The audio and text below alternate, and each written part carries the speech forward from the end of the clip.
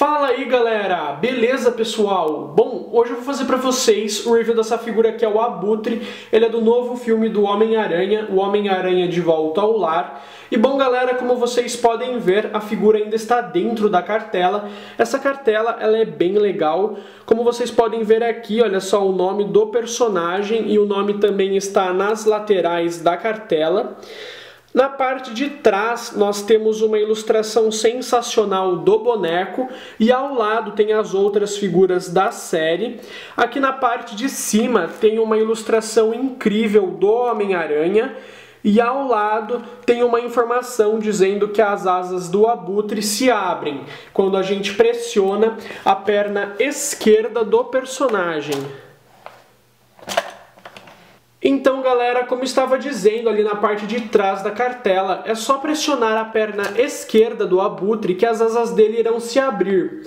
E agora, pessoal, eu vou tirar essa figura da cartela e já já eu estou de volta. Beleza, galera, eu já tirei a figura da cartela e ela é bem bacana. Porém, eu acho que a Hasbro deveria ter caprichado melhor nas pinturas desse boneco. Por exemplo, aqui nos braços do abutre só tem aquela pintura básica, e isso é um pouco chato. Além disso, o mesmo se repete na parte de trás das asas do personagem. Mas, apesar disso, eu gostei bastante dos detalhes das asas do boneco. E como vocês podem ver aí no vídeo, elas possuem detalhes impressionantes.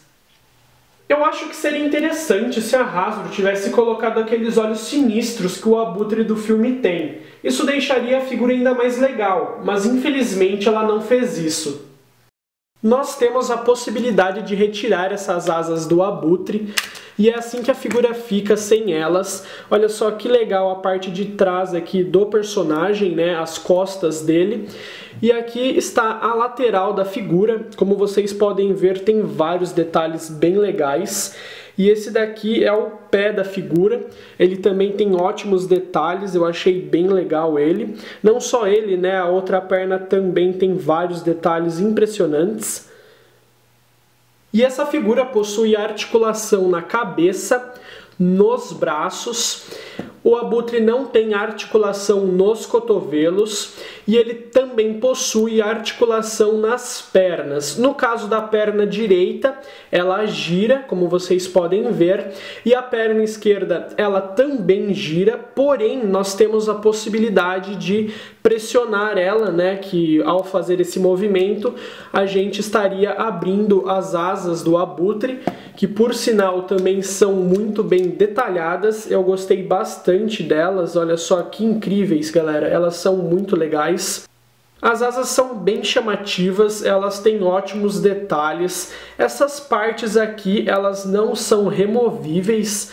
É uma pena mesmo que a Hasbro não tenha caprichado muito na pintura aqui da parte de trás das asas, mas fora isso, elas são incríveis. Então, pessoal, eu vou mostrar para vocês mais uma vez como abre as asas do abutre quando elas estão conectadas ao corpo do boneco. É bem fácil e rápido, é só pressionar a perna esquerda e as asas se abrirão facilmente.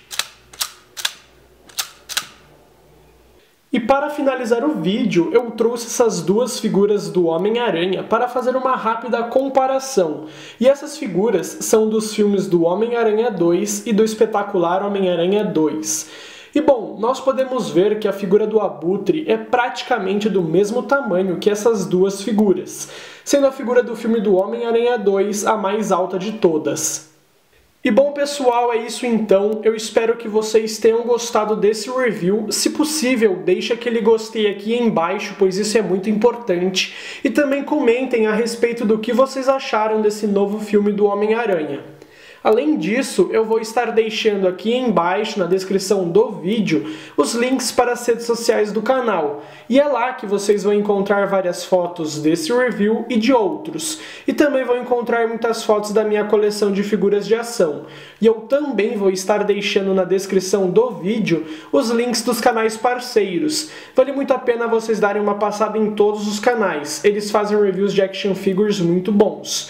E é isso então, galera. Muito obrigado e até o meu próximo vídeo.